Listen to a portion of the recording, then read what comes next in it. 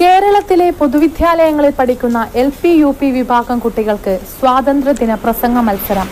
പങ്കെടുക്കൂ. സമ്മാനം നേടൂ.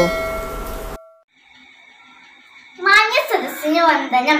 ഞാൻ ബാബു നാലാം ക്ലാസ്സിൽ പഠിക്കുന്നു. ബഹുമാനപ്പെട്ട അധ്യാപകരെ എന്റെ പ്രിയ കൂട്ടുകാരെ ആദ്യമേ എല്ലാവർക്കും എന്റെ സ്വാതന്ത്ര്യാശംസകൾ ഇന്ന് ആഗസ്റ്റ് പതിനഞ്ച് നമ്മുടെ രാജ്യമായ ഇന്ത്യയുടെ എഴുപത്തഞ്ചാം സ്വാതന്ത്ര്യം നമ്മൾ ഇന്ത്യക്കാർക്ക് വളരെ അഭിമാനവും സന്തോഷവും നിറഞ്ഞ ഒരു ദിവസമാണ് ഇന്ന്.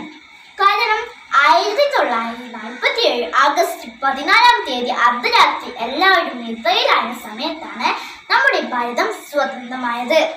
നൂറ്റാണ്ടുകൾ നീണ്ട ബ്രിട്ടീഷ് അടിമത്വത്തിൽ നിന്ന് ഇന്ത്യയുടെ സ്വാതന്ത്ര്യത്തിനായി ആഹ്ലാദം പ്രയത്നിച്ച മഹാത്മാഗാന്ധിജി ജവഹർലാൽ നെഹ്റു സുഭാഷ് ചന്ദ്രബോസ് എന്നിവരെല്ലാം അതുപോലെ തന്നെ നമ്മുടെ രാജ്യത്തിന്റെ സ്വാതന്ത്ര്യത്തിനു വേണ്ടി ജീവത്യാഗം ചെയ്ത ധീരദേശാഭിമാനികളായ ഭഗത് സിംഗ് എന്നിവരെല്ലാവരെയും ഞാൻ ഈ അവസരത്തിൽ സ്മരിക്കുന്നു.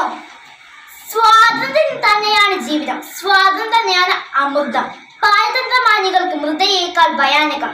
എന്ന ഈ മഹാകവി കുമാരനാശന്റെ വരികൾ എത്രയോ അർത്ഥമേറിയതാണ്. ഭാരതമെന്ന് പേർ കേട്ടാൽ അഭിമാനപൂരിതമാകണമെന്ന് നിൽക്കും കേളമെന്ന് കേട്ടാലോ? തിളക്കണം ചോര നരമ്പുകളിൽ. ഓരോ പൗരന്റെയും സിരകളിൽ ഓടുന്ന രക്തത്തിൽ അലിഞ്ഞു ചെയ്ത ഒരു വികാരമാണ് ദേശാസ്നേഹം എന്നത്.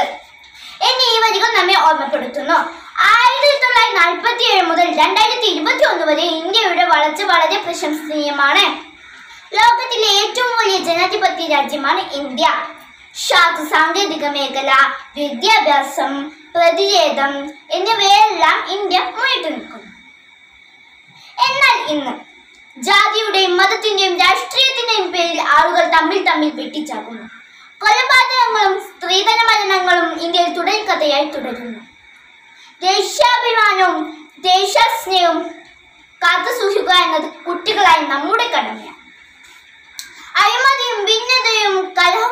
ഇല്ലാത്ത ഒരു നാളെ നമുക്ക് സ്വപ്നം കാണാം എന്ന് പറഞ്ഞുകൊണ്ട് നിർത്തുന്നു. ജയ് ഹിന്ദ്.